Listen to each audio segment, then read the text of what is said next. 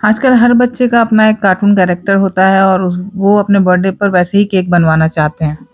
Hello, अस्सलाम वालेकुम and welcome back to my channel. On today's menu with Shubhi Minhaj तो मैं हूँ शुभी और आज जो मैं बनाऊँगी, एक वो छोटे बच्चे के लिए केक बनाना है। एक कार्टून कैरेक्टर पर है तो चलिए जल्दी से वीडियो को शुरू कर देते हैं। तो ये दो पाउंड का चॉकलेट केक था तो दो कप प्रीमिक्स से मैंने केक बेक कर लिया है। इसमें दो टीस्पून ऑयल डाला था और मेरा बेकिंग प्रोसेस को देखना है तो मेरी पिछले वीडियो में जाके आप देख सकते हैं। तो बस मेरा केक बेक हो गया, बहुत अच्छा बहुत स्पॉन्जी बेक हुआ। इसकी पतली सी लेयर मैंने ऊपर वाली हटा दी है। ऐसे नहीं भी हटाने से चलेगा, क्योंकि डोम शेप तो आता नहीं है मेरे केक में, लेकिन मैं हटा देती हूँ। इसको तीन लेयर में कट कर लिया है। और मैंने आज पतीले में केक बेक बेक किया है क्योंकि मेरा ओवन फिर से ख़राब हो चुका है। तो पतीले में भी बहुत अच्छे से केक बेक हो जाता है। फिर मैंने बोर्ड लिया अपने केक के हिसाब से और बोर्ड पर क्रीम लगाया है, पहली लेयर रखी है और क्रीम में मैं चॉकलेट गनाश मिक्स कर रही हूँ ताकि मैं चॉकलेट क्रीम रेडी कर सकूँ। और गनाश को अच्छे से क्रीम में मिक्स कर लेना है तो इसी तरह से chocolate cake chocolate cream ready हो जाती है। इसको मैंने पाइपिंग बैग में भर लिया है और बस अब इसकी आइसिंग शुरू करेंगे। तो सबसे पहले हम सोकिंग करेंगे केक की तो चीनी पानी का मिक्सचर रेडी किया मैंने और उससे केक की अच्छी तरह से सोकिंग कर ली है।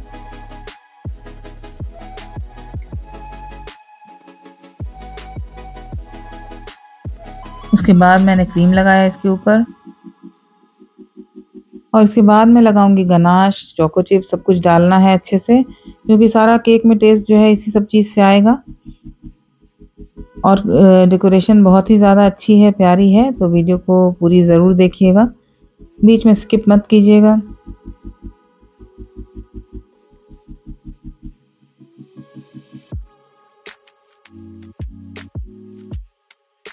तो ढेर सारा गनाश डालना है ताकि अच्छा चॉकलेट टेस्ट हो। क्योंकि टेस्ट अच्छा होगा तभी लोग को पसंद आएगा आपका केक।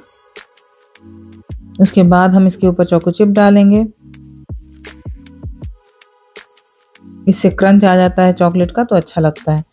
अब सारी लेयर को इसी तरह से हम सेट कर लेंगे। ये मेरी तीनों लेयर सेट हो गई है। उसके बाद थोड़ी सी क्रीम से हम इसकी क्रम कोटिंग कर लेंगे।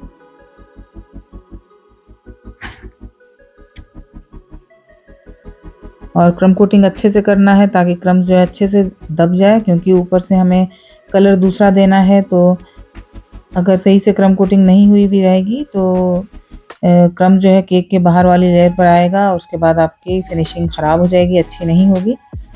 तो इस तरह का चॉकलेट केक हो तो क्रम कोटिंग बहुत ज़्यादा अच्छे से करना इंपॉर्टेंट होता है। तो अच्छे से क्रीम लगा के इसकी क्रम कोटिंग कर लीजिए पहले। यही छोटी छोटी सी टिप्स है जो फॉलो करने से हमारे केक में अच्छी फिनिशिंग आती है। नीट एंड क्लीन केक बनता है और जितनी अच्छी फिनिशिंग होगी, उतना अच्छा आपका काम दिखेगा। काम अच्छा दिखेगा तो आप ही के लिए अच्छा होगा। तो देखिए क्रम कोटिंग मेरी बहुत अच्छे से हो गई है। कहीं से भी केक में केक दिख नहीं रहा है तो अब हम फाइनल जब इसकी फ्रॉस्टिंग करेंगे तो बहुत अच्छी फ्रॉस्टिंग होगी।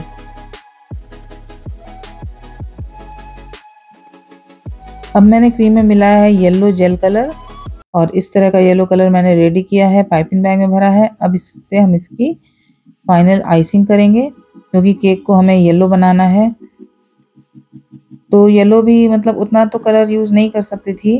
तो इसके बाद मैंने इसको और थोड़ा सा डार्क शेड दिया है तो वो कैसे दिया है, वो भी आगे आप देखिएगा।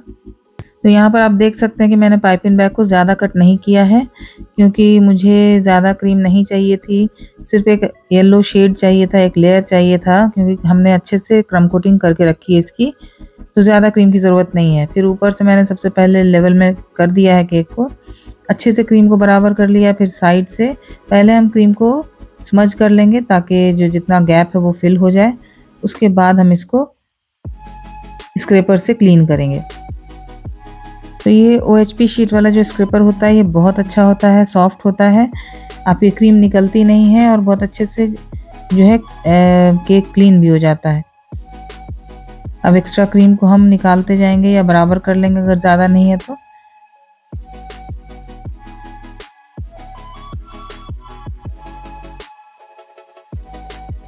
तो एक दो बार इस तरह से हम इसको क्लीन कर लेंगे और उसके बाद हम आगे का प्रोसेस करेंगे। तो जब तक मेरा क्लीन नहीं होगा केक और मुझे सेटिस्फेक्शन नहीं होगा, जब तक मैं इसको करती रहती हूँ और जब परफेक्ट हो जाता मेरे हिसाब से, तब फिर मैं आगे बढ़ती हूँ।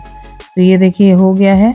अब मैंने ये जो डस्ट वाला पाउडर कलर होता है, वो अपने पंप में भर लिया है और इसके ऊपर स्प्रे कर रही हूँ। इससे एक शेड डार्क हो जाएगा और ज़्यादा कलर भी नहीं लगेगा। ये बहुत लाइट होता है, कोई टेस्ट ख़राब नहीं होता है इसका। अब ये जैसा कलर मुझे चाहिए था ऊपर वाले सरफेस पर मिल गया है। केक को मैंने रख दिया थोड़ी देर फ्रिज में सेट होने के लिए और आगे का जो फॉन्डेंट वर्क है वो मैं कर रही हूँ। तो मुझे रेड कलर के फॉन्डेंट से दो सर्कल निकालना था तो वो निकाल लिया और ऐसे ही जो जो चीज़ चाहिए मैं बना लूँगी। ये पिकाचू वाला केक बन रहा है तो पिकाचू का गाल होता है रेड कलर का आईज होती है ब्लैक तो जो जो चीज़ मुझे चाहिए थी मैंने सब बना लिया है, आप देखते जाइए कि कैसे बना रही हूँ मैं।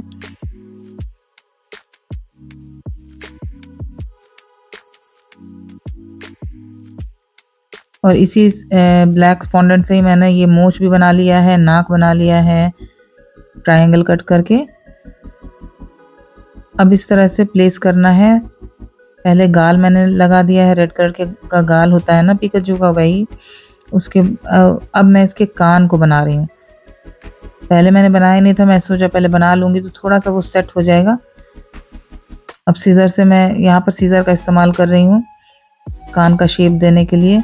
क्योंकि हम एक तरह का केक हमेशा हम नहीं बनाते हैं। ये सब जो जितना कार्टून कैरेक्टर वाला होता है, वो कभी कभी ही बनाने को मिलता है और हमेशा कुछ नया ही होता है। तो रिपीट तो होता नहीं है, बहुत कम रिपीट होता है। तो जब भी हम बनाते हैं, वो एक नई चीज़ होती है हमारे लिए।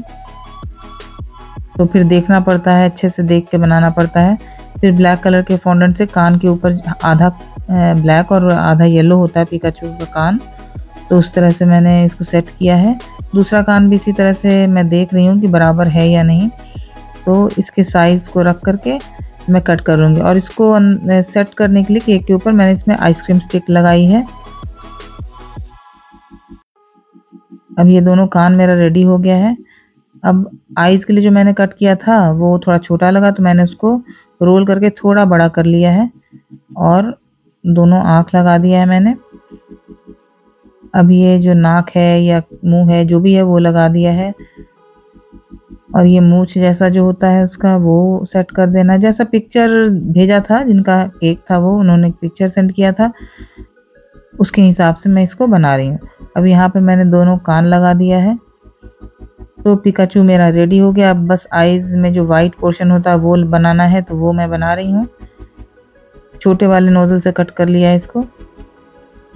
और थोड़ा सा पानी लगा करके फॉन्डेंट में मैंने यहाँ पर स्टिक कर दिया और सबसे आखिर में मैंने इस पर एक बर्थडे का टॉपर लगा दिया यहाँ पे और बस रेडी हो गया। तो ये पिकाचू केक की डेकोरेशन डिज़ाइन आपको कैसी लगी आप कमेंट में बताइएगा और वीडियो मेरी अच्छी लगी होगी तो इसको लाइक कर दीजिएगा। फ्रेंड और फैमिली में शेयर भी कर दीजिएगा, जिनको बेकिंग में इंटरेस्ट है, जो केक बनाना पसंद करते हैं। और अगर चैनल को अभी तक सब्सक्राइब नहीं किया है तो प्लीज़ जल्दी से जाके कर दीजिएगा।